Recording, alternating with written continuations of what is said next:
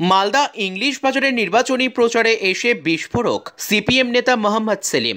মালদা জেলা সিপিএম কার্যালয়ে এক সাংবাদিক সম্মেলনে সেলিম বলেন, যেমন জঞ্জাল পরিষ্কার হবে, তেমনি রাজ্যের জঞ্জাল পরিষ্কার করতে হবে। বিজেপি একটা গার্বেজ গ্রাউন্ড হয়ে গিয়েছে ডাম্পিং গ্রাউন্ড হয়ে গিয়েছে। যত দুর্নীতিবাজ তৃণমূল বিজেপিতে চলে যাবে, সে যদি বিজেপিতে চলে যায়, কেন্দ্রীয় পুলিশের পাহারা পাবে। সে যদি বিজেপি থেকে তৃণমূলে চলে আসে, তাহলে রাজ্য পুলিশের পাহারা পাবে। সাধারণ মানুষের নিরাপত্তা থাকছে না।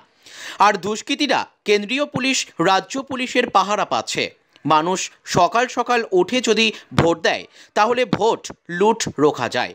গত চার পাঁচটি কর্পোরেশন ইলেকশনে আমরা যা দেখেছি, সকাল নটা পর্যন্ত যেখানে ভোট হয়েছে, ভালো ভোট হয়েছে। সেখানে তৃণমূলের ভালো ভোট হয়নি। সকাল নটার পর বোম, বন্দুক নিয়ে ভোট লুট হয়েছে। সকাল নটার মধ্যে বেশিরভাগ ভোট হয়ে গেলে বামফ্রন্ট ভালো রেজাল্ট করবে। এই বিষয়ে দক্ষিণ মালদার সাংগঠনিক জেলার বিজেপির সাধারণ সম্পাদক অমলান ভাদুরী বলেন পশ্চিমবাংলায় বিজেপির পঁচাত্তর জন বিজেপি এমএলএরা আছে। বামেরা খাতা খুলতে পারেনি। তাদের মুখে এসব কথা মানায় না। এখন তৃণমূলের দয়া দাক্ষিণ্যে বাংলায় রাজনীতি করছে। বাংলার রাজনীতিতে প্রাসঙ্গিকতা হারিয়েছে। তাই তাদের বিষয়ে কোনো কটু কথা বলতে চাই না।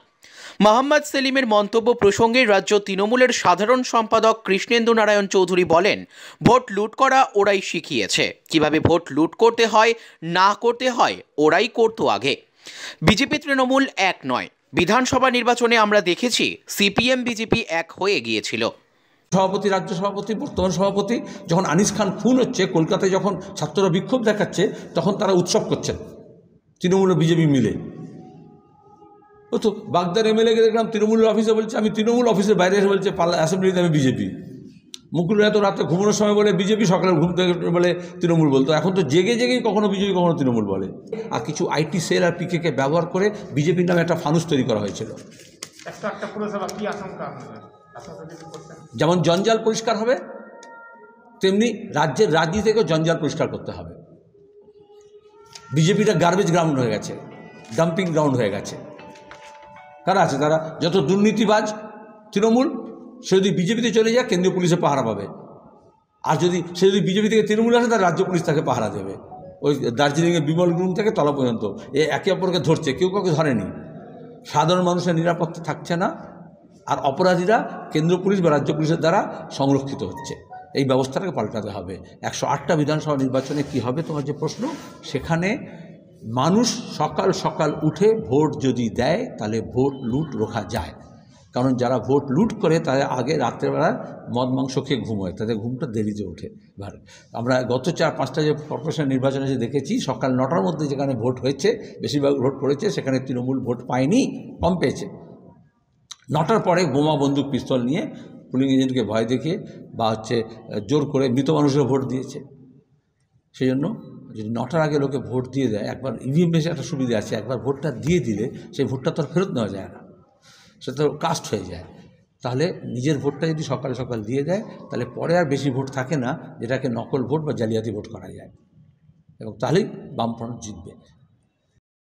বা সিপিএমের নেতা মানে সেলিম সাহেবের বক্তব্য শুনলাম। ভোট লুট তো ওরাই শিখিয়েছে।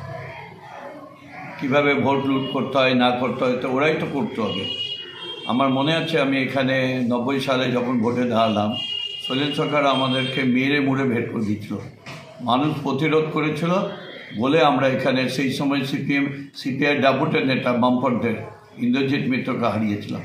এবং নয় নম্বর ওয়ার্ডে যখন আমি দাঁড়িয়েছিলাম, তখন নয় নম্বর ওয়ার্ডে বাইরে থেকে প্রচুর গুন্ডা নিয়ে এসেছিল।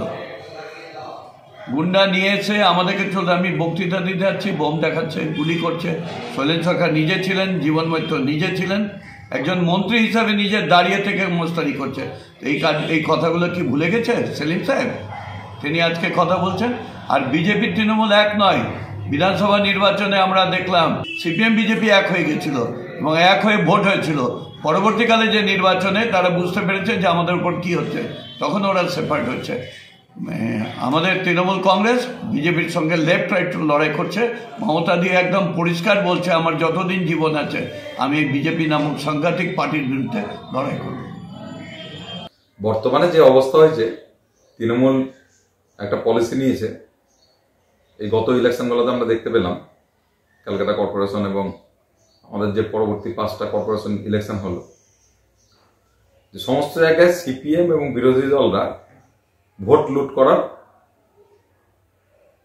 ছাপ্পা ভোট দেওয়ার অভিযোগ করছে। এমনকি মোহাম্মদ সেলিম থেকে আরম্ভ করে সকলেই করেছেন সেখানে তৃণমূল অদ্ভুতভাবে দেখা যাচ্ছে, কিছু কিছু বুথে নিজেদের ছাপ্পা দেওয়ার সঙ্গে একশোটা ভোট নিজেরা দিতে গেলে পাঁচটা ভোট তারা বামফ্রন্টের বোতাম চিপে দিচ্ছে ছাপ্পা দেওয়ার সময়। দিয়ে তাদের পার্সেন্টেজটা বাড়িয়ে দিয়ে একটা চেষ্টা করছে যে বিজেপির থেকে সিপিএম বেশি ভোট পাচ্ছে। এই জায়গাটা করার চেষ্টা করছে। স্বাভাবিকভাবে আমরা এখানে পশ্চিমবঙ্গের বিরোধী দল, পঁচাত্তর জন এমএলএ আমাদের আছে। সিপিএম এখানে একটা খাতা খুলতে পারেনি।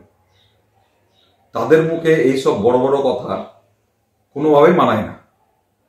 তারা এখন তৃণমূলের দয়া দাক্ষিণ্যে রাজ্যে রাজনীতি করছে। সারা রাজ্যের মানুষ জানে তারা প্রাসঙ্গিকতা হারিয়েছে রাজ্য রাজনীতিতে। তো স্বাভাবিকভাবেই আমরা তাদের সম্বন্ধে কোনো কটু কথা বলতে চাই না। কিন্তু এটুকুই বলব, তারা তৃণমূলের উচ্ছিষ্টভোগী না হয়ে, তৃণমূলের দয়ায় রাজনীতি না করে, নিজের পায়ে চলুক, তাহলে মনে হয় মানুষ অনেক বেশি তাদের পছন্দ করবে। Bureau report AVN Bangla.